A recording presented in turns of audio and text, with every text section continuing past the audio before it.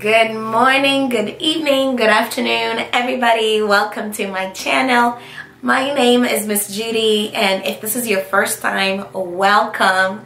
On this channel, I share testimonies, I share the Word of God, and I share godly inspiration with the goal of bringing you into deeper intimacy with God. I hope you all are doing well. I just thought, you know, it's a lovely day to just study the Word of God, isn't it? Don't you think? So today's video, we are just simply going to study the Word. So today we're in the book of Colossians chapter 2 from verse 8 to verse 15. The Word of God says, Don't let anyone capture you with empty philosophies and high-sounding nonsense that come from human thinking and from the spiritual powers of this world rather than from Christ.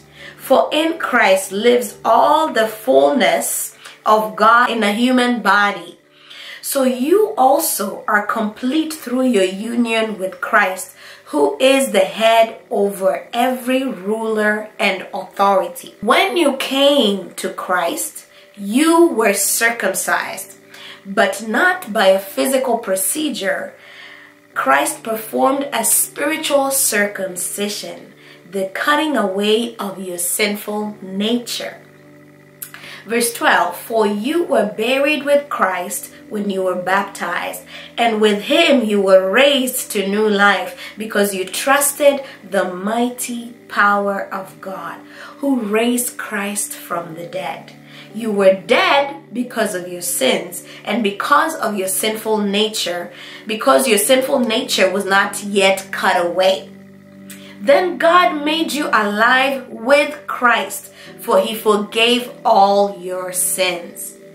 He canceled the record of charges against us and took it away by nailing it to the cross. In this way, he disarmed the spiritual rulers and authorities. He shamed them publicly by his victory over them on the cross. Amen. Let's pray. Father, we thank you for your word. We thank you that your word is a lamp unto our feet and a light unto our path. Lord, we want to pray that even in this moment, you would shed your light on the scripture that we just read and that you would reveal yourself. Give us a deep understanding and disarm every lofty opinion, every, you know, condemning thought that lift itself up against your knowledge. We take it captive and we make it obedient to you. We pray that your word will be spoken boldly, loudly, clearly, and that your power will reach your people as we dive deep into it. May we be more intimate with you and may we see you even as we are fully known. We thank you and we bless you. In Jesus' name we pray.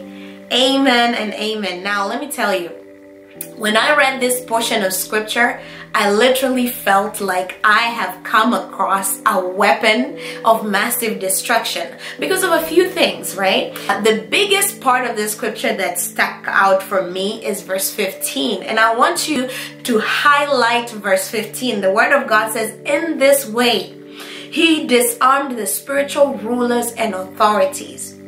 You know, some believers live in fear of spiritual rulers and authorities. We have to know that in our lives as children of God, we are constantly wrestling against spiritual rulers, powers, authorities, systems that have been strategically placed to cause us to not know God, to not see God, to not find our place of advantage. But you must know that in Christ, you have been given an opportunity to be set in a place of advantage. So when you see believers and servants of God preaching the gospel, they are really trying to get you to see that there is a place of advantage that you can be in, that salvation is available. There is a, a way out there is a way out because for as long as we are blinded for as long as you are blind you're not seeing that the spiritual powers rulers authorities are taking advantage of you.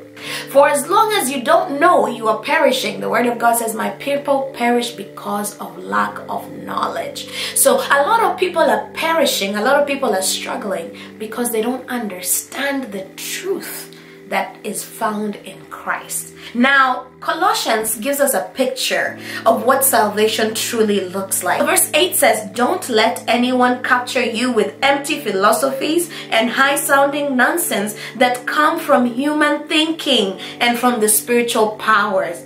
So you have to know that as, as the gospel is being preached, there is also other doctrines that are being released. In this day and age, there is a lot that is being released in the media and all, not, not all that is sound doctrine. So you have to know that some people are in it for themselves. Some people are in it to make a name for themselves. So when you find that there is uh, uh, uh, someone that is preaching the word, but really trying to bring glory, trying to build their ministry, then you must know that that is not a, a, a, the right place to be. You must know that that is not that that is what the scripture is saying here, high sounding nonsense. So there is people that are very loud, but are, but are not really the, the goal is not really to preach Christ crucified the goal is not really to to preach the word of God which brings salvation to humankind the, the, the goal is to stay up here to stay at the top of the ladder and to cause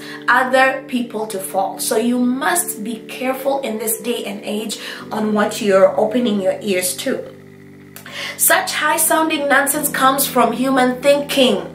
There are people that are preaching out of their own human thinking. Any preaching, any word that is shared on platforms that does not really, that is not really tied to the word of God, is, is really tied to human wisdom. People go about just speaking their minds. Then you must know that that is not the place to be. That is not the place to be. Because you know, the gospel the gospel, the word of God, this gospel has power in it. And that power is the power to overcome the wickedness that we're facing in this day. For in Christ lives the fullness of God in a human body. In Christ lives the fullness of God in a human body. This is just a reminder that Christ, Jesus Christ, a man that lived and was crucified 2,000 years ago, in him was the fullness of God himself. So you must know that Jesus Christ came from God. Jesus Christ carried the fullness of God. He was fully human, but carried the fullness of God himself. Verse 10 says, so that you also are complete through your union with Christ who is the head over every ruler and authority.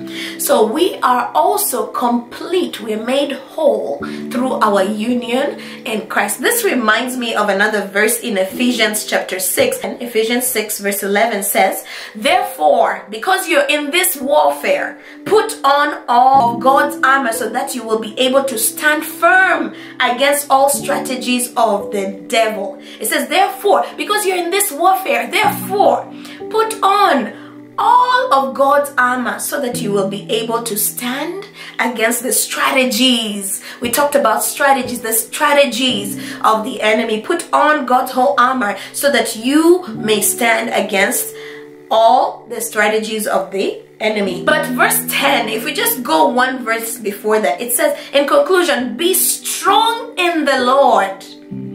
Meaning, be empowered through your union with Him. In order to fight a war and to win a war, you must be strong. This is why soldiers are taken through basic training before they're handed over certain weapons. We can use that analogy to understand, you know, first of all, before you even put on the full armor, you must be strong, strengthen yourself, be empowered through your union with Him. So, our union with God gives us power. Our union with God gives us power, the ability to exercise His might power is the ability to exercise the might of God. God has might, and might is is is really stored power. The meaning of might, right? The meaning of might is inherent power or a force. A muscular man's big muscles, like someone who has big muscles, you can tell that there is there is might.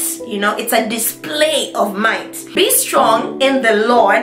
Be empowered through your union in Him. Draw your strength from Him there is strength that comes from God. The strength that comes from your union with God. Verse 10 says, So you also are complete through your union with Christ.